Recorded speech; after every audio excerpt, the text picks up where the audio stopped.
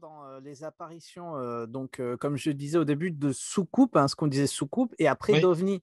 Et euh, Oui. voilà, je te, je- je te vois. Et, et alors, c'est vrai parce que c'est pas bête ce qu'on m'a écrit, parce que les, les petits gris, c'est vrai qu'on a commencé réellement à en parler, tu vois, début des années 90, tu vois, vers là, un peu comme dans les films de science-fiction, etc. Et, et- et cette certaine forme d'évolution, qu'est-ce que tu pourrais dire là-dessus? Parce que je crois qu'il y a. euh, alors, il y a, euh, il y a Eric euh, qui veut peut-être euh, qui veut peut-être Oui. parler. Alors, J'écoute euh, Mike, hein, moi. ah, d'accord, Ah, d'accord. bonjour, euh, bonjour Eric. Euh, bon, on m'a écrit ça, C'est pour ça. mon Bonjour, mentor, bonjour. C'est- c'est- c'est mon lui. mentor Eric Esorcher qui est là. Euh, ah ben c'est- ça me ferait plaisir si tu veux me dire, dire un petit mot euh, sur toutes ces, ces choses. Vraiment, ça serait vraiment un plaisir euh, si tu peux euh, corroborer un petit peu, euh, puisque c'est comme qui a, qui a parlé de tout ça il y a très longtemps. Euh, donc, euh, si tu veux dire un, un petit mot, euh, Eric, euh, avec ce, ce fameux, ce fameux livre, l'exemplaire Ouais. d'origine que j'ai en possession. Alors bonsoir Mike, je sais pas si tu Bonsoir. m'entends. Oui, Ah, je- tu m'entends j'entends, j'entends. D'accord, d'accord. Eh bien voilà, je te félicite simplement pour cette, pour cette émission. Euh, Mhm. C'est pas si facile de prendre tous ces cas et de les mettre un peu en forme et puis de, de- de les expliquer, de- d'en parler. Euh, et euh, disons que c'est ce que racontent les témoins. Et en, en ufologie, ben, la seule vérité, elle remonte du terrain, c'est-à-dire de l'information donnée par les témoins. Après, il faut tenter d'interpréter. Ça, c'est beaucoup plus difficile. Mhm. C'est le problème qui nous est posé, mais c'est c'est hyper intéressant, donc c'est bien, c'est bien. Voilà. faut que tu continues. Et toi aussi, hein, il faut continuer euh, parce que c'est vraiment, euh, un- tu as un travail vraiment, euh, euh, vraiment très important en ufologie et tu mérites euh, beaucoup de reconnaissance. Moi, je, franchement, ça, c'est c'est autre chose, ça, c'est autre chose. ouais, ouais. Et, et c'est marrant parce que Jacques Vallée parlait beaucoup de ça à l'époque, euh, justement de tous ces cas-là, parce que je pense que tu as dû être inspiré aussi par, euh, par Jacques Vallée, par euh, on s'approche un peu en 69 hein, avec le passeport de Magonia. Et il a un peu changé un peu de, de discours. il ne pense plus peut-être comme avant. Alors, je ne sais pas ce que tu en penses par rapport à Jacques Vallée, son, son- son changement un peu. Oui, oui, Jacques Vallée a évolué comme tout le monde. Enfin, moi, j'ai été influencé par lui comme toute une génération, ça c'est sûr. Euh, j'ai beaucoup été influencé surtout par Aimé Michel. Oui, Et les oui. conversations que j'ai pu avoir avec lui, Mhm. euh, qui était vraiment un esprit euh, totalement hors norme. hein. Ouais. Euh, voilà. Mais Ja- Jacques Vallée, bien sûr, bien sûr. Ouais. Toute une génération dans les années 60-70 a été, a été très influencée par Jacques Vallée, ça c'est certain. Eh oui, c'est sûr. En, en plus, bon, il avait, il a, il a, il est quand même physicien. Il a, il a une, il a, disons, une compétence à parler et à réfléchir que l'on voit tout de suite. Donc c'est, intéressant. Et puis ces cas, ces cas posent vraiment problème. Euh, mais c'est ce qui en fait le charme. Finalement, il y a un côté assez charmant. Le, l'ARR3, c'est quelque chose qui doit représenter, je ne sais pas, 0,1 ou 0,2% en ufologie, c'est-à-dire quasiment rien. Et pourtant, c'est, euh, ces cas euh, fascinent littéralement. C'est une sorte de folklore, hein, finalement, de populaire, à la limite. On, les- perçoit de l'extérieur un petit peu comme ça. Euh, mais euh, c'est sûr qu'il y a autre chose derrière. voilà. Ah oui, c'est surtout que il y a ce phénomène de, de tromperie tout le temps, et même dans les contactés, où tout le temps il y a ce, phénomène. Alors s'ils sont contactés vraiment, mais il y a toujours ce phénomène de, presque des démons derrière, ou en tout cas du mimétisme par rapport aux témoins. Comme, Oui, il y a un le- côté, Le cas de euh. Le cas de Rosa Lotti, Oui, oui, on elle, va à la messe et elle voit ses petits démons. Quoi. Oui, oui, c'est un marrant. cas, c'est un cas d'école. Oui, oui. euh, je connais la région, hein, j'y ai été parce que je suis, euh, par mes origines, je suis originaire de Toscane. Tu Donc, connais bien, euh, oui. Je connais bien la région. Encore aujourd'hui, c'est une région euh, extrêmement sauvage. hein. Euh, Oui, Il faut bien voir que Oui, c'est a- très particulier, hein, euh, le- l'endroit, Tchénina. Bon, il y a les journaux maintenant quand même. Oui, oui, maintenant il y a les journaux. Depuis les années 75, à peu près, il y a des journaux. Non, mais le cas c'est- de. que j'ai enquêté des cas. J'ai dû enquêter une dizaine de R3 en tout. hein. J'ai eu de la chance finalement parce que ce sont des cas très rares. Et euh, j'ai enquêté des cas qui rentrent bien dans ce moule, effectivement. Le cas de Beau Soleil, Oui. il, Très intéressant. Il vient fracturer, si tu veux, une, une série de cas de la phase d'accroche. Où tout le monde est à peu près d'accord. Ceux qui s'intéressent à ça, il y en a quelques-uns à l'époque, sont tout à fait d'accord pour dire bon, ben, ce sont des extraterrestres qui viennent. qui, qui, viennent pour une raison quelconque sur la Terre et qui ne sont pas très loin de nous en technologie. Mm. Et, puis voilà. Et puis tout d'un coup, tu as le cas de, donc de, Beau Soleil. Et surtout, tu avais un an avant exactement le même cas à Vaux-en-Dieulet, en France, mm-hmm. donc en 1950. Mm-hmm. Et là, c'est une rupture totale parce que tu as un œuf transparent sans aucun euh, système de, propulsion. Et l'objet fiche le camp à toute vitesse. Et c'est là que peut-être on, on, devrait commencer à comprendre, en fait, ça arrivera bien plus tard, mais on devrait commencer à comprendre que c'est beaucoup plus complexe que ce qu'on nous montre. Voilà. Et le phénomène va toujours évoluer. Il y a, un côté histrionique, hein, c'est sûr, au sens de, l'acteur de la romantique. Et il y, a, un côté mimétique, effectivement, aussi, ce qui est tout à fait intéressant. Mais ça, ça a été relevé depuis assez longtemps. Et puis, euh, beaucoup d'ufologues ont noté ce, côté spéculaire, hein, c'est-à-dire en miroir par rapport à nous, comme si c'était une sorte de miroir un peu déformé par rapport à nos propres euh, productions. C'est une représentation de nos propres productions, mais d'une manière un petit peu caricaturale, si tu veux. C'est ça. Et je trouve ça très, très intéressant, c'est vrai. comme, le cas de, comme le cas de Serret, là, en 1956, avec ses, motards, là. Oui. C'est très particulier. C'est très, très, très particulier. C'est très rare en plus. Hein. C'est assez rare. Pas un cas très connu. C'est pas, un cas, pas un cas très connu. Mais parce que justement, il n'entre pas, entre euh, pas dans le cas OVNI précis. Il n'y a pas de là, c'est vraiment Il y a des cas de fausses voitures aussi. Oui. Euh, de faux trains. De faux trains aussi. Et de faux trains aussi. En fait, nos, nos productions sont, sont, généralement mimées. Même nos, nos, nos crashs d'avion sont mimés, et dès le début. Mhm. Puisque 46, la vague. Euh, ah la vague fusée. Bon, euh, de fusée, tu, tu, as des tonnes de crash de rien, comme on dit. Oui, on n'a on a rien retrouvé dans les lacs. Et on retrouve jamais rien. On retrouve jamais rien. Et cette phase de, 1897 aussi, bien sûr. Ah ben là, c'est un cas Tous ces cas-là. Oui, oui. Et je peux te dire qu'il y a des cas également pendant la Première Guerre mondiale qu'on ne connaît pas. Euh, où l'aspect mimétique est, vraiment mais criant, criant, criant. Quoi. Ça, te pose des problèmes, mais quasiment insolubles. Euh, et, et c'est comme ça depuis le début. Mhm. Et donc, il faut vraiment réfléchir à cet aspect, bien sûr. Complètement. complètement c'est très complexe en fait. Et comme disait mais Michel, euh, euh, ben, je, suis un de ceux qui, savent, qui sait le mieux sur le phénomène mais mon savoir tient sur un timbre-poste. Plus on a des questions tout le temps. C'est que voilà, ce cas d'Abiat Guadzone, hein, on peut voir incroyable. Mais s'il ah, oui, oui, oui. Abiat et Guadzone, c'est un gros cas italien. Il y a une dizaine de gros cas en Italie. Et, celui-là, c'est vraiment avec euh, Rosalotti, c'est vraiment deux gros cas mm. euh, qui ont laissé des traces. Hein. Euh, Rosalotti, il y avait une trace. Hein. J'ai lu dernièrement euh, une, étude là-dessus. Il y avait bien une trace qui a mm-hmm. été piétinée mm-hmm. par les gens dans la journée, parce que ça, on en parle rarement. Et il y, a, il y a des témoins multiples. Il y a deux enfants qui ont assisté de loin à la scène et au départ de l'objet. Et mm. tu as presque une dizaine de personnes qui ont vu l'objet partir dans le ciel quand même. Donc, c'est pas mal. C'est pour ça que c'est un cas assez lourd, hein, quand même. Oui, parce qu'il y a des témoins multiples, effectivement, des enfants. C'est ça. Ça. Plus loin, qui ont vu la scène. Qui ont vu la scène. Et puis, il y a des gens qui, ont, qui travaillaient dans leur serre tôt le matin et qui ont vu l'objet décoller, se mettre à, à l'horizontale et filer à toute vitesse. Donc, euh, c'est un cas assez, euh, assez lourd quand même, oui, aux alotes, oui. il y a, il y a un peu de tout dedans. Ce qui est intéressant aussi, c'est Chaboy et Maurice Mas qui, après, euh, ont été contactés par, soi-disant, les Scandinaves ou les Men Black ou autre chose, où ils sont menacés. Quoi. Ça, c'est aussi c'est quelque chose dont on ne parle pas trop. Non, non, euh, les, témoins n'aiment pas parler de ça. C'est pas une généralité non, plus. Hein. c'est sûr. Mais Ça non, non, c'est quelques cas, quelques cas. Le cas de Trénal, pour ceux qui connaissent, le cas de Trénal, euh, il semble que les témoins, quand même, été, ça a été jusqu'à euh, prendre le, t-shirt du témoin euh, qui avait été plus ou moins irradié. Quoi. Euh, donc, donc ça arrive de temps en temps, c'est vrai. C'est vrai.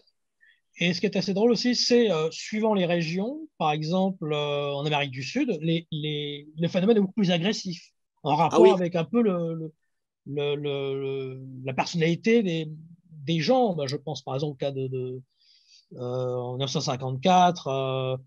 ah, j'ai trop de mémoire sur le, nom. mais ce sont des petits êtres noirs en fait qu'on voit dans, dans celui d'ailleurs d'ailleurs la BD là. Oui. Donc ils sont très agressifs quoi. oui, ils ressemblent un peu à des petits singes extrêmement. C'est ça. Oui, oui. Il y a même un, cas où le témoin aurait été touché par un rayon et, euh, décédé. Euh, bah, alors bon, c'est un cas, hein, c'est une exception qui confirme la règle, mais euh, ça vient comme par hasard du Brésil ou de l'Amérique latine, oui, où il faut, il faut avoir un peu bourlingué là-bas pour savoir à quel point le climat est particulier. et les, cas aussi de, des Villers avec les, ou arc saucisson euh, avec les sauterelles, tout ça, c'est très, très vraiment particulier. Quoi. C'est, oui, c'est vraiment très intéressant dont tu avais parlé aussi à l'époque. Cussac, euh, aussi. Et euh, l'autre cas, là. Bon, c'est des cas qui ont été enquêtés par Jean Tirode et ça a une signification pour moi parce que j'ai rencontré Jean Tirode. Je suis allé le voir. Oui, ah d'accord. quelques mois avant son décès. Mhm. et c'est quand même quelqu'un qui avait fait 500 enquêtes, Jean Tirode. C'était un, monstre, un monstre sacré dans son domaine. Ah oui, oui. Euh, alors bon, il n'y avait, y avait, pas que, avait pas que des cas d'OVNI hein, dans ses enquêtes, mais euh, Villers, c'est lui, un de ses enfants a été impliqué à Evillers. Ouais, euh, bon, euh, tu as Ars Saucisson aussi. Ars Saucisson, qui est voilà. 67, je. Oui, oui, oui. Et c'est intéressant de savoir que Julien Gonzalez a fait une contre-enquête assez récente sur le cas. Il a retrouvé la petite fille qui est devenue une femme, évidemment, depuis. Ah, d'accord. Et elle se souvient très bien hein, de, de, de, ce petit personnage tout noir qui parlait euh, une sorte de sonorité qui ressemblait à du chinois, dit-elle encore. Donc, euh, c'est pas un cas, on a essayé de le dévaloriser, ce cas, mais euh, il s'est bien passé quelque chose. Et la grange avait brûlé aussi dans ce cas-là, après, comme dans la légende un peu. c'est dans le cas du sautret, du sautret, des Villers. C'est du sautret, ouais, c'est ça. Ouais, c'est là que la, la grange a brûlé. Et il y avait un chien avec un chien gigantesque qui a laissé des la boue et dont Jean Tirode avait les photos mhm. en plus. Et ce cas très absurde de 54 aussi dans, dans les Vosges où le témoin en fait euh, euh, face à un pilote lui demande euh, où est la ah oui. La Russie et il lui dit il lui demande l'heure et il dit non non vous, mentez les 4 heures. C'est une festival d'absurdité quoi on rejoint certains cas anciens de, ce point de vue-là, on est, en, on est en pleine absurdité, oui. Euh, c'est toujours ce côté un petit peu mimétique, un peu caricatural qui réapparaît. Euh, il, est possible que cette intelligence utilise le, le biais de nos structures mentales pour se produire aussi, elle puise là-dedans, et donc elle puiserait dans l'inconscient aussi, parce que tout ça a quand même des relents d'inconscient. Hein. Euh, j'en discutais dernièrement avec un, psychologue qui s'intéresse à ça, il me disait, mais très, très, très souvent, je remarque des, des traces ou des choses que j'entends et qui, relèvent de l'inconscient. Donc il est possible que, que la conscience qui soit à l'origine de ça puise ces informations dans notre propre conscience, mais sur un plan total. Oui. Voilà. Euh, ce qui expliquerait en partie certaines choses. Mais comme des phases des fois de, de, dirigeables, où euh, parfois il y avait un vrai dirigeable qui se trouvait dans, dans, dans la région. Oui, c'est arrivé. récemment. Mais plus récemment, plus récemment, dans les années 50. oui. Et il y a même un cas euh, dans les années 1900, euh, alors je crois que de mémoire, ça doit être juste avant la Première Guerre mondiale, où le témoin, en rentrant le soir tard, parce qu'il travaillait, c'était un métier de bouche, il travaillait très tard, il rentre dans un terrain vague en Allemagne, hein, et il voit une sorte de zeppelin. Or, le zeppelin était déjà connu à l'époque, donc il mhm. pense que c'est un zeppelin, mais ce zeppelin est bizarre, il est, il est tout illuminé. Et tout d'un coup, il, voit de tout petits êtres, un peu comme AMR, mhm. euh, qui rentrent en courant dans le Zeppelin et, mhm. et, le, et, le, Zeppelin, il part, il part à toute vitesse. Euh, là, on est encore une fois en plein dans un cas, euh, en effet miroir, hein, mimétique, donc par rapport à nos propres productions. Oui, oui, il y a des choses comme ça. Oui, il y a pire. Hein. Pendant la Première Guerre mondiale, j'ai trouvé un cas qui était pire que ça encore, qui, ah était vraiment... Lequel? Ah, il n'est pas très connu. C'est un cas d'une ah. petite île en Angleterre en 1916 Mhm. où le témoin a vu, euh, et pendant longtemps en plus, hein, à midi, en plein jour, elle a vu un objet arriver plat avec des, avec des gens qui étaient dessus en uniforme un petit peu, euh, on va dire, de, euh, en bleu horizon de l'armée française, mais pas, mais pas avec des calots de l'armée française. Et l'objet planait comme ça et il est parti tout d'un coup à toute vitesse. alors, là, alors là, le cas, il, est, il est indéco, enfin, sauf, pur mimétisme, il est indécodable. on ne peut pas le réduire non plus. Mhm. J'ai tenté, parce qu'étant historien, j'ai pas mal travaillé sur les deux guerres mondiales, donc je connais l'histoire des, des zeppelins et compagnie. Mhm. La région a été attaquée par des zeppelins Oui. mais évidemment, il y a- les, les Allemands n'ont jamais disposé d'un appareil pareil. Oui, d'un parce appareil- qu'ils utilisaient les dirigeables à l'époque pour bombarder dans les- en- Oui. pendant la Première. Guerre mondiale, effectivement. C'est ça, c'est ça. Ça. Donc, euh, c'était synonyme de danger. C'était Oui. de danger pour le, le témoin comme pour 46 finalement en Suède. oui, C'était oui, le d'autant danger. plus, ça, c'est ça, c'est ça. D'autant plus qu'ils balançaient, euh, ils balançaient de nuit au hasard, Ouais. au-dessus Ah oui. de la couche nuageuse la plupart Ah, du temps. Alors effectivement, ils, ils- ils avaient fait une espèce de petit appareil, un obus. Euh, ça ressemble à un obus vitré euh, où, où ils descendaient avec un treuil en dessous de la couche nuageuse, euh, l'obus avec un observateur dedans, relié par téléphone quand même pour l'époque, pas mal. Mhm. Et ils donnaient des indications. Et Mhm. à partir de là, ils pouvaient envoyer leurs 3-4 bombes, ils remontaient le gars et ils fichaient le camp. Mais jamais ils ont eu, ils ont eu comment cela se pourrait-il? On n'a pas encore aujourd'hui un appareil de, de- de cette nature. Euh, sûr. une sorte de disque avec des gens dessus euh, capables d'évoluer euh, comme ça en lévitation à toute vitesse. euh, ça ça, ça n'existe pas. Ouais. Voilà. Donc ce sont des cas qui, qui vraiment posent problème. Ils sont intéressants pour ça d'ailleurs. C'est ça qu'en fait, ça touche l'inconscient. C'est-à-dire que le- soit le témoin, il est, on va dire, euh, il voit un phénomène qui est en, en, fond- en, en phase, en miroir avec son métier, soit c'est un groupe de témoins où, en fait, ça va être en phase avec le, la mythologie du moment ou, le, le- le- ou même quelque chose qui est tout près d'eux du moment. C'est ça. C'est ça qui est intéressant. Donc, ça- il y a plusieurs effets, en fait. C'est ça. Suivant- S'il y a plusieurs témoins, c'est transculturel. S'il y a un seul témoin, Exactement. ça peut être personnalisé. Ce qui ça. peut être beaucoup plus angoissant. hein. Euh, tu prends le cas du bois des prânes, par exemple. Ah oui, Euh, là, c'est totalement personnalisé. Euh, ça, c'est une évidence. Euh, la, la colle sur l'eau aussi. et la colle sur loup, euh, j'étais encore il y a trois jours avec le témoin, donc, qui est mon ami depuis Ah. 45 ans. Enfin, ils étaient six hein, quand même. Mais bon, lui, ça fait fait partie des deux qui étaient les plus proches. Voilà. Euh, Mhm. Donc, euh, oui, pour moi, c'est un des plus gros cas français quand même. hein. Deux heures et demie d'observation, six témoins, des traces de radioactivité, des traces au sol, tout un tas d'effets. Ça fait beaucoup quand même, beaucoup. Et le fait que le, le dossier de la gendarmerie qui était là à 8 heures du matin ne soit pas accessible, euh, c'est quand même un signe. Voilà, c'est un signe. Là, on est dans quelque chose. Bon, Mais c'est vrai qu'après 1960, on ne voit plus trop, justement, il n'y a plus, plus trop de traces au sol, finalement. non, et ça, aussi, voilà, ça s'amenuise. Et euh, les, les ufolotrapetis, on va dire, parce qu'avant, ils étaient un peu plus grands. Finalement, ils faisaient 1m60, souvent entre 1m60 et 1m70. Enfin, je parle des cas des années 50, pour certains, hein, pas tous. hein. Et après, ils deviennent beaucoup plus petits. Et, euh, et aussi, on ne voit plus l'intérieur de Non, l'OVNI, euh, non. quand on le voit, c'est sous une forme plus technologisée et d'ailleurs en relation avec nos, nos avancées actuelles d'ailleurs. Ouais. Euh, tu vois des écrans plein de couleurs, euh, numérisés, euh, des choses comme ça, mais c'est plus rare. Effectivement, c'est plus rare. Et comme la dame qui est en train de, de faire son linge et qui voit ce... la croisière s'amuse. Ah, Oui. C'est un peu avant, un peu après, un peu après 60. je, je l'aime beaucoup. Ouais. Non, c'est 59. La croisière. 59, ouais, c'est à la limite, à la limite. ouais. Euh, ouais. Ouais. Parce que je l'aime beaucoup, parce qu'on a Ouais. contre-enquêté dessus à l'époque, on a rencontré la dame et les enfants devenus grands. Donc, euh, et tout le monde se souvenait bien de, de l'objet euh, étrange, enfin Ouais. impossible et incroyable hein, d'ailleurs. Parce que quand tu réfléchis à un truc pareil, ça ne peut pas exister. Euh, et pourtant, on, on est en plein effet vitrine hein, de toute façon. Complètement, ouais. C'est l'effet vitrine. ouais. ouais, Et ouais, il y a ouais. cet effet dose aussi, justement, où des fois le témoin est plongé, on le met dans un univers, en fait, on le met dans une bulle. C'est Bah, très je- intéressant. Je pense que ces cas ne se produisent pas au hasard, déjà.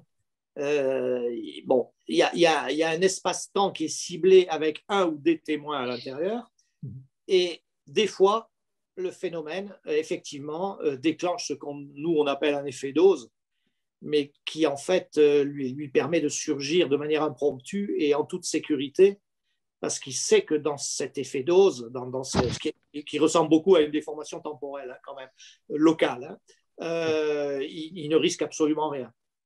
Euh, Exactement. Voilà. il, il, maîtrise le temps et l'espace complètement. Hein, bah, il maîtrise, c'est plus que ça encore. À partir du, temps, du moment où tu maîtrises le temps et l'espace, tu maîtrises un certain nombre de, de choses qui n'apparaissent pas dans la vie courante, mhm. et notamment les, les états superposés quantiques. C'est-à-dire que le phénomène serait capable de voir les cinq ou six situations possibles dans sa production et il prendrait la meilleure pour lui, celle où le témoin ne risque rien et lui peut nous filer tranquillement entre les doigts. C'est vrai. Ce qui expliquerait aussi beaucoup de choses, notamment l'élusivité. Et ce qui est marrant, c'est aussi le, le, rapport avec la science-fiction, en fait, où ça se, ça se, c'est toujours corrélant, ça, ça se suit. Parce que le, soit la science-fiction copie le phénomène, mais des fois le phénomène copie le la science-fiction. Oui, oui, il y, a il y a un lien entre les, les, deux, surtout dans les années 50 d'ailleurs. D'ailleurs, il y a un témoin célèbre en Italie euh, qui s'est fait auteur de science-fiction après son, son expérience. Ouais. Euh. Mais il y a le, le The Case of uh, the Little Green Man en 51. C'est un roman de science-fiction c'est vous parlez des petits hommes verts pour le coup, euh, suite justement à Hopkinsville en 55. Euh, oui, oui. Euh, oui. Euh, très intéressant comme cas aussi, hein, ah parce qu'il est vraiment à part. Ah, il, est très à part. Il est à part. il est vraiment à part ce cas aussi. C'est vrai, comme il n'arrive plus de cas comme ça. il y a quelques gros cas quand même dans le monde qui, qui passent un peu inaperçus. On on le, sait peu de temps après. Euh, ou, beaucoup de temps après. Euh, l'intérêt d'Obskinville, c'est que le shérif, il, a été là assez vite avec euh, ses adjoints et que donc on a parlé du cas. Mais il arrive quand même des cas, il y en a encore un peu, j'en citais en Nouvelle-Zélande, là, dans le livre, où les, chasseurs, là, les témoins, ont, été complètement secoués. Et ça ressemble un peu quand même, je, trouve qu'il y a un climat à peu près parallèle à celui d'Obskinville, sauf que là, ils n'ont pas été se plaindre et que le cas n'a été connu que, que deux, trois ans plus tard. Euh, comme c'est souvent le cas d'ailleurs. Euh, Est-ce que la police est, venue contrôler et le phénomène est revenu à 3h30 après Oui. C'est ça qui est. Jusqu'au matin. Jusqu'au matin. Oui, oui. Puis ils ont ah, tiré dessus et tout. Il y a des... Ah ils ont tiré partout. il y a des traces de balles et tout. Des vraies fusillades, oui. Ah, le, cas de Villas-Boas, bien sûr, est un cas d'école. Hein. Très intéressant aussi. Parce que là, il y a on peut dire qu'il y a un échange avec le, enfin, un échange prolongé même avec euh, on pourrait parler de vénusienne maintenant de, de, de, oui, oui, oui, bah, voilà c'est on a vraiment dans, cette technologie là oui oui. oui c'est c'est la ce qui la ce qui en ressort un peu euh, dans, dans, le côté mythologique c'est un des premiers cas d'abduction ouais, ouais. Euh, bien avant les épouilles et ces cas sont les premiers cas sont intéressants pour une raison simple, c'est qu'il n'y a pas de missing time à l'époque.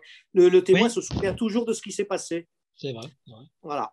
Euh, les missing time vont commencer à apparaître principalement après, euh, à partir des, du cas des époux mais euh, surtout dans les années 80. Mais surtout dans les années 80. Là, là ça va être au, point que ce soit devenu un scénario classique. Hein. le témoin voit quelque chose et il se retrouve une heure après au volant de sa voiture sur le côté mais il ne se souvient pas de ce qui s'est passé.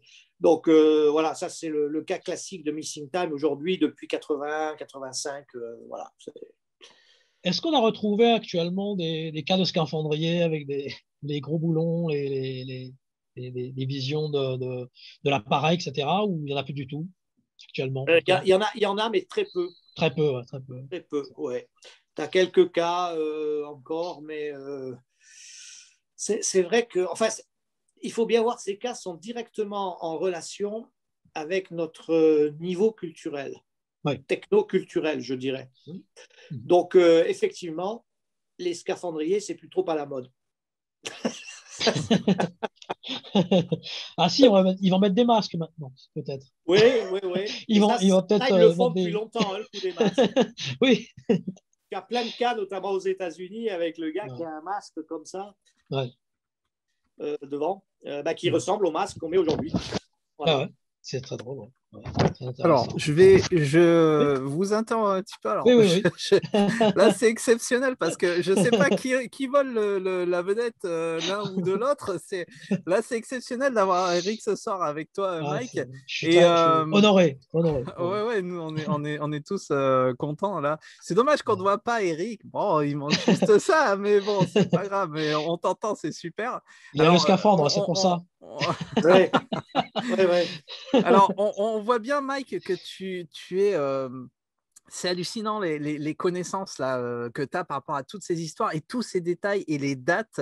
C'est, c'est, on, voit que tu, tu, tu as bien, tu as bien étudié voilà, toutes, ces, toutes ces histoires. Et, et, et, donc, je, là, vous imaginez, j'ai plein de questions qui, qui sont arrivées. Et on va, on va, on va commencer. Alors, je ne sais pas s'il y a certaines questions sans trop étaler, parce que c'est vrai que c'est des questions hein, on pourrait en parler trois heures euh, et, Eric il va, il va comprendre pourquoi. Mais euh, voilà, déjà, euh, j'ai une question, que ce soit toi, Mike ou, Eric. Mmh si vous-même, et ça vous imaginez bien, je pense qu'on vous l'a posé plein de fois, si vous avez eu des, des contacts OVNI ou, ou, RR3 hein, vous-même, alors je ne sais pas si ça vous est arrivé ou si vous pouvez l'expliquer ça par rapport à... C'était une question de, de Charlotte, je crois. Oui, Charlotte. Eric? Oui, ben, euh, bon, ça fait 50 ans que je suis sur le terrain, j'ai fait pas mal d'enquêtes. Euh, j'ai eu la chance d'enquêter une dizaine de cas liés à des RR3, mais ça ne veut pas dire que moi j'ai été témoin. Hein. j'ai été témoin une fois, mais pas d'une RR3. Bon, ah. donc euh, j'ai approché de, de, près ces gens-là, c'est vrai. Euh, j'estime avoir eu de la chance. 10 cas, euh, c'est beaucoup parce que vraiment, ce ne sont pas des cas qu'on rencontre euh, à tous les coins du bois. Hein, ça. voilà. donc, donc, je me suis petit à petit intéressé de plus en plus à ces cas parce que je trouvais qu'ils étaient porteurs d'informations. Voilà. Or, l'ufologie, c'est avant tout de l'information. C'est du témoignage qui remonte du terrain et qui nous parvient. Et il faut savoir qu'aussi, à peu près un cas sur dix nous parvient. Dans les neuf, dans les neuf autres, le témoin garde le silence. Donc voilà, il faut, il faut connaître un peu ces données. Et puis, euh, pour moi, mais j'ai jamais vu d'humanoïde ou de fait, D'accord. fait une observation de R3, hein, donc jamais. D'accord. Ou d'OVNI, euh, tout simplement, tu as, Une fois, une fois. D'accord. En 75, en avril 75. C'était déjà suffisamment impressionnant comme ça. Dans la région où tu étais, euh, oui, Nice, là-bas. Ah oui, dans les Alpes-Maritimes, oui. D'accord. Absolument. D'accord. Moi, je n'ai pas vu de scaphandrier encore, de, de grand blond. Mais euh, non, j'ai vu euh, une sorte de, lumière assez étrange du côté de Rennes-le-Château euh, qui s'éteignait, se rallumait très vite, qui allait d'un point à un autre dans la montagne. Mais je n'ai pas vu d'autre chose pour l'instant, en tout cas. Mais on est toujours à la recherche, de toute façon, de, de voir un petit peu je sais qu'au col de Vence, il y a des choses qui se passent aussi, euh, côté justement de Nice, là-bas. Il y a des témoignages. Tu en penses quoi, Eric, par rapport au col de Vence qui se passe un peu là-bas euh? Oh, je le fréquente depuis longtemps, je l'ai pas mal fréquenté. Alors, j'ai jamais fait vraiment d'observation d'OVNI au col de Vence. Hein. Euh, en revanche, j'ai vu des phénomènes psy, PSI, hein, évidemment. Mmh. Phénomènes paranormaux, j'en ai vu quelques-uns, oui. Ça, je Et ce phénomène, ce phénomène remonte à longtemps dans, dans les années ou c'est récent ah bah, quand même? Euh, on commence à en parler dans des coupures de presse dans les, au début des années 70. Mais euh, ceux qui ont un petit peu enquêté là-dessus euh, se sont aperçus que jadis, au XVIIe, XVIIIe siècle. C'est le, du diable, un peu. Voilà, on appelait ça le plateau du diable. Ça, Donc il y avait probablement. bon, on n'a pas de traces écrites, mais on avait, il y avait probablement déjà certains phénomènes. Ça, ça, appartient à la notion de territorialité. Hein, Charles Fort a parlé beaucoup des, des pluies de, l'époque de, Bonnet, de, choses très étranges. Oui, oui. À, oui, il y a des pluies de pierre. C'est ça. Oui, oui, c'est ça. C'est vrai que c'est le, le livre des damnés de Charles Fort, c'est très, très, très, intéressant. Mm-hmm. Déjà, dans l'ancien temps, on voyait des choses quand même très, très, très étranges. C'est ce qui est très intéressant, c'est que justement, tu, tu faisais euh, une catégorie, justement, euh, vraiment en pourcentage, euh, les statistiques sur les témoins, le nombre d'observations, les lieux, l'heure et tout. Le phénomène diurne, ça c'était intéressant aussi, parce que le phénomène était des fois dur dans les années 50 et après il devient surtout nocturne. Oui. Ça c'est intéressant. Comme je dis souvent, l'OVNI aujourd'hui est de la nuit. Oui, c'est ça. ça. Parce que bon, tout le monde, dans le monde entier, tout le monde a fait le même constat. hein. Au, au début des années 60, on bascule. Euh, Jusque-là, le phénomène était, était déjà plutôt nocturne, mais il y avait quand même un relatif équilibre avec le diurne. Et au début des années 60, progressivement, il bascule dans le diurne. Euh, énormément de cas, notamment de cas d'observation rapprochée, hein, de type 1, 2, 3, euh, Mhm. sont faits de nuit la plupart du temps. Les cas comme Beau Soleil, c'est très rare, mais Beau Soleil, c'est 51 C'est ça. probablement juillet 51, je pense. Euh, Voilà. Donc, c'est une tendance que tout le monde sur la planète a constatée. Alors, pourquoi? Euh, Ça peut tenir à, à nos évolutions technologiques. Le, le, euh, comment dire, les routes sont de mieux, de mieux en mieux éclairées, le territoire est de mieux en mieux quadrillé. Aujourd'hui, tout le Ouais. monde a un téléphone. Euh, voilà. Et, et tu, tu observes le même phénomène dans la guerre, par exemple. Moi, j'ai j'ai pas travaillé là-dessus. Euh, le- la partie qui est en, en train de perdre, de perdre la guerre, de perdre la partie, lui aussi devient de la nuit. C'est-à-dire qu'il ne peut plus intervenir que de nuit. Pendant la Seconde Guerre mondiale, c'est évident. Euh, voilà, dans, dans le Pacifique, les Japonais, à partir de 1943, ne sortent plus que la nuit. Parce que Ouais. fait que deux jours, euh, les Américains ont le radar et ils ont la supériorité numérique et ils vont se faire allumer. Donc, euh, ils tentent leurs choses la nuit.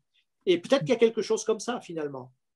D'ailleurs, à l'époque, pendant la guerre, des Allemands avaient euh, tout un bataillon d'Allemands avait tiré sur un disque argenté euh, à un moment. Oui, oui, c'est arrivé Ouais. plus d'une fois, cette Ouais. histoire-là. hein. Oui, oui, oui. Oui. Euh, Il y a notamment un cas très, très, euh, qui m'a beaucoup impressionné, qui s'est déroulé en Pologne lors de l'affaire du ghetto de Varsovie. Et apparemment, euh, il y a une énorme boule blanche et, avec des couleurs, avec des, des bandes. hein. C'était pas, c'était vraiment un objet matériel, quoi, apparemment, hein, Mhm. Qui, qui est venu alors que tout le monde se tapait dessus et, et tout le monde s'est mis à tirer sur la boule, qui était grosse. Ouais. hein. Et euh, des partisans qui étaient un peu plus loin ont vu euh, les balles passer à travers la boule. C'est intéressant, ça. Ouais, ouais, c'est vrai. C'est. Pete Célébas qui raconte ça dans son dernier livre. Un témoignage a recueilli et que je trouve très intéressant. Est-ce que tu avais étudié ce cas de l'Ardèche en 1930 Ah ben, j'ai Euh, même C'était le 15 avril. euh, justement, Oui, 15 là, cette fusée là, cette fusée de 12 Oui, oui. mètres là. c'est ça, 10-12 mètres. Et, Et vraiment, on est au tout début quoi. C'est vraiment Oui, le tout début oui, de oui. l'ufologie française. mètres de diamètre. Oui, oui. Et alors, il y a, là, il y a eu une trace. Ouais, C'est-à-dire ouais, que le- l'herbe est restée couchée pendant 24 heures. Et le jeune là, qui euh, est revenu, euh, son père, euh, il- c'était vraiment une ferme. hein. Il l'a engueulé parce qu'il avait passé trop tôt. Ah oui, il y avait de une claque. ouais. Il y avait une Ouais, claque. quoi. claque, oui. Euh, Mais en fait, à midi, il y a quelqu'un qui est arrivé venant de la rivière. Il y, avait une, il y a une rivière derrière. Il est arrivé venant de la rivière derrière. Il habite, et j'y suis allé dans cette, dans cette habitation qui est abandonnée aujourd'hui. Et il a dit Mais qu'est-ce que vous avez foutu ce matin? Qu'est-ce que c'était que cette lumière effrayante qu'il y avait euh, à travers les arbres, à, à 180 mètres à peu près? Il l'a vu. Donc, donc, il y a un deuxième témoin. C'est ça qui est, qui est intéressant. Et ce cas Mais aussi les- du. Ah, Ouais. non, vas-y, vas-y. Dans les années 30, on commence à parler de fusée. Oui, oui. J'ai fait un travail là-dessus et on commence beaucoup à parler de fusées et, c'est, et, et même bien avant. J'ai découvert par exemple que la Poste en Allemagne, entre l'Allemagne et l'Autriche, dans les années 20, avait fait une expérience. Ils envoyaient une fusée, ils envoyaient une fusée carrément par-dessus les Alpes avec, avec tout le courrier dedans. Et, et les gars, ça atterrissait, je ne sais plus trop comment, sans trop se casser la figure. Les gars récupéraient le courrier de l'autre côté et le courrier était là presque en instantané. Et ça, ça date des années 20. Ouais. donc, donc, l'histoire des fusées était déjà dans l'air. C'est ça, c'est ça. Ouais. Il y a ce cas rare aussi, de, j'en ai parlé tout à l'heure, du, du 20 mai 1950, près de la Loire, là, où c'est une femme qui est attrapée par des mains, des mains géantes, là. Ah oui, C'est oui, très, oui. très particulier. C'est très curieux hein, comme cas. Ça fait partie des. Ouais. Il y, a- il y a toujours des cas très curieux que, que l'on ne sait pas classer. C'est-à-dire c'est qu'on ne sait pas où on peut les mettre, ces cas-là. Est-ce que c'est une Il y en a pas, RR3 Est-ce que c'est une RR3 C'est difficile à dire. hein. Il y a un cas au Canada un peu comme ça, qui ressemble beaucoup, beaucoup. Mais là, elle a vu, elle a vu que c'était des nains avec une force terrible et qui, qui avait tenté de, qu'il avait, euh, qu'il avait, c'était une femme. hein. Ils l'avaient attaquée par derrière et ils ont tenté de la traîner. Donc ça ressemble un peu à ce Ah ouais, elle a été traînée euh, Ouais. plusieurs mètres. euh, Oui, elle oui, a oui. souffert quand même. cas très bizarre. Alors, je désolé de vous interrompre comme ça. J'ai euh, pas mal de questions qui sont arrivées là. Donc, je vais essayer de les prendre une par une.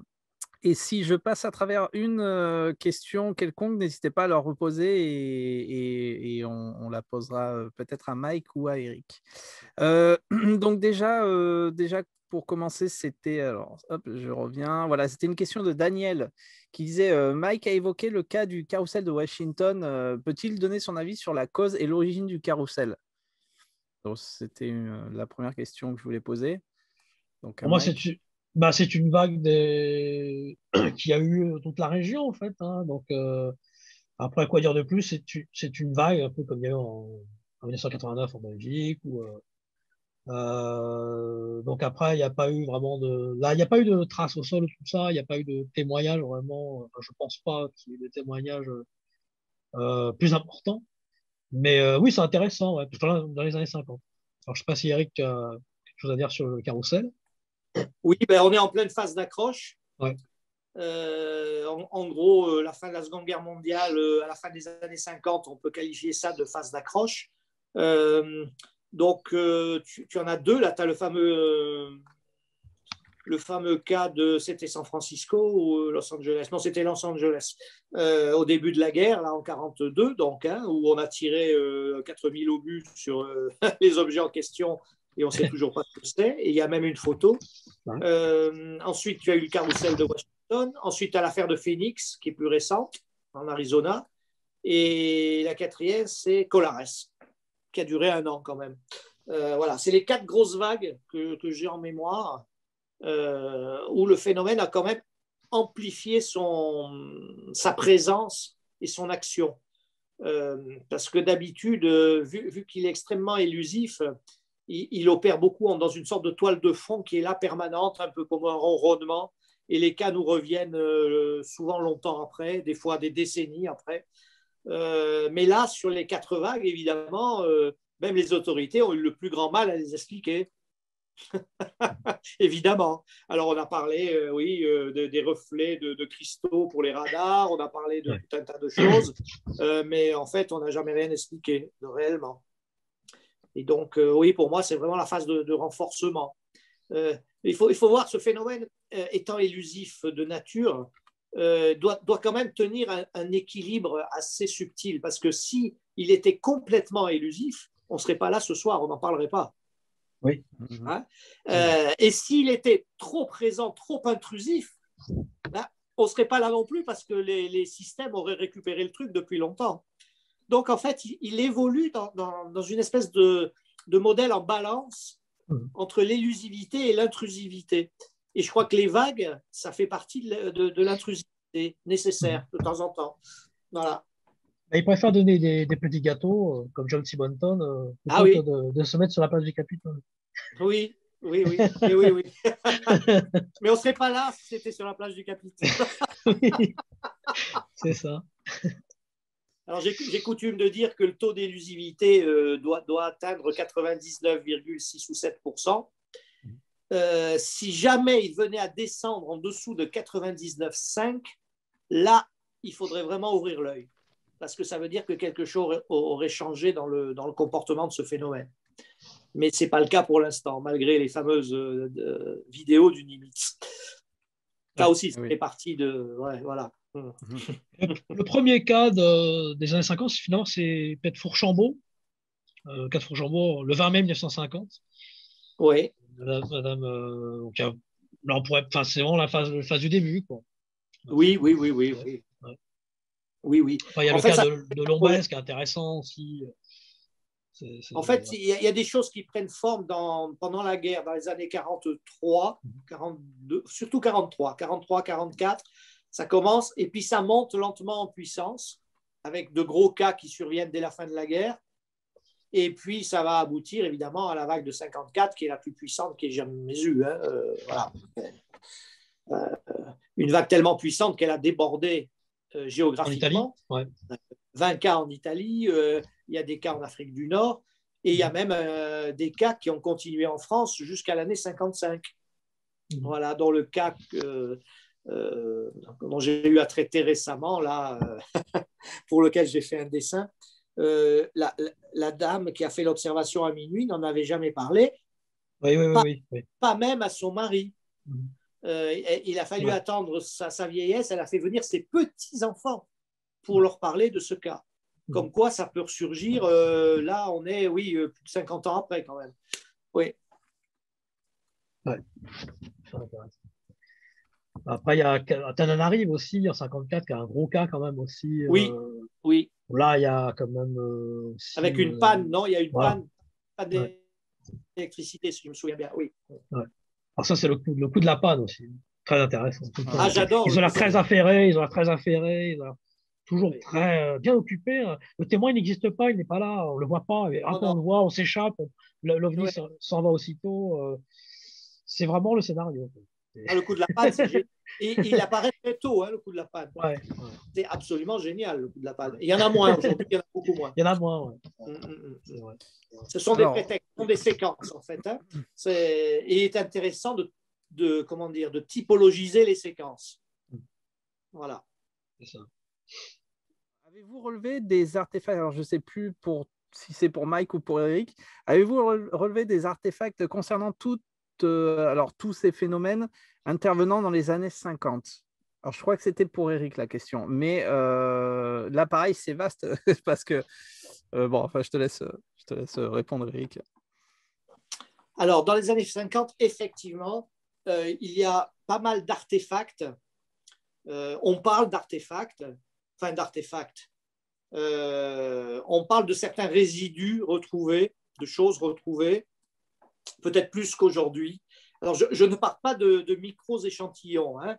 Ça, il y a entre 5 et 10 cas connus, parce que je pense qu'il y en a des non connus, euh, dans le monde, sur lesquels on discute toujours.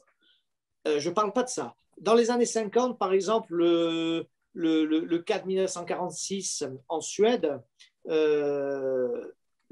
un des personnages jette quelque chose dans la forêt. Le témoin le voit, le lendemain il revient et il récupère ce qui ressemble à une sorte de petit bâtonnet. Bon, il va le faire analyser à ses propres frais.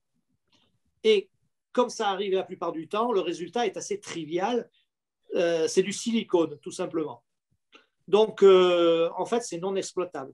Dans le fameux cas d'Abiat et Guazzone, dont on a parlé tout à l'heure, hein, c'est Bruno Facchini, le témoin. Euh, il, il a récupéré sous l'objet, vous savez, le, le- un, des, un des ufonautes était en train de souder apparemment. Enfin, ça ressemblait à ça. Et il y a des choses qui tombaient, un peu comme quand vous soudez à, à l'arc, il y a la lait qui tombe. Donc, il, il a récupéré ces choses-là. Je les ai vues, ces choses-là. Euh, ça a été analysé par deux laboratoires italiens. C'était du bronze, de l'airain, euh, résistant à la friction.